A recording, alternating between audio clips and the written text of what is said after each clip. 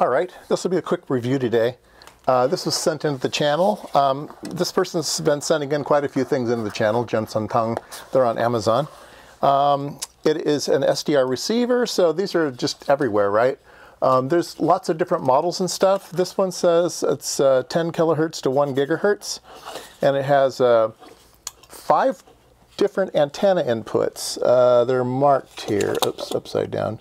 0 to 30 megahertz, 30 to 60 megahertz, 120 to 250 megahertz, 400 to 1 gigahertz, and then this one is 50 to 120 megahertz, uh, which sort of covers the um, uh, FM broadcast band. So um, I thought maybe they have, would have different mixers and stuff there, but we'll see. It's, it's just filtering. Uh, I'll open this up and uh, and we can see inside.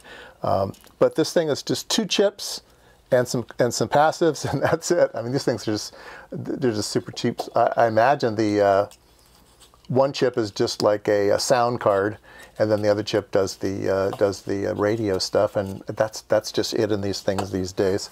Um, comes with a USB-C uh, uh, cable, so it is UPS UPS UPS USB-C.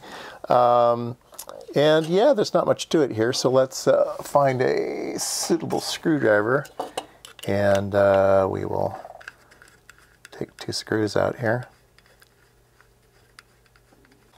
Oops. One more thread. There's always one more thread. There we go. And there we go. Uh, there's nothing at all on the backside, so zoom in here. Can we zoom? Is that going to focus in close here? I think it is. Um, so yeah, two IC. There's a little uh, power thing over here. Uh, probably just a 3.3 volt regulator or something like that. Um, but yeah, that's it.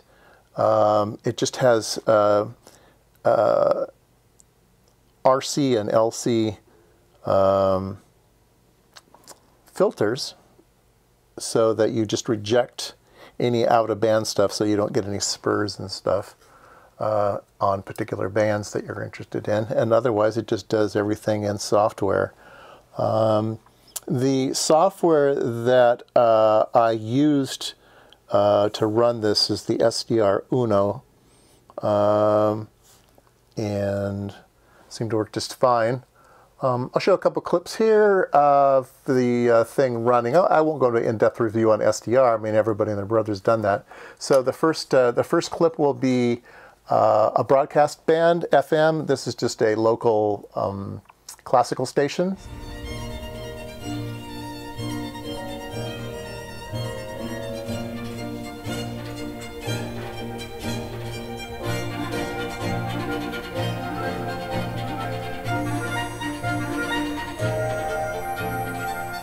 So that was broadband FM, and uh, the next uh, little clip here I'll show you is on AM modulation of the local, um, the local airport.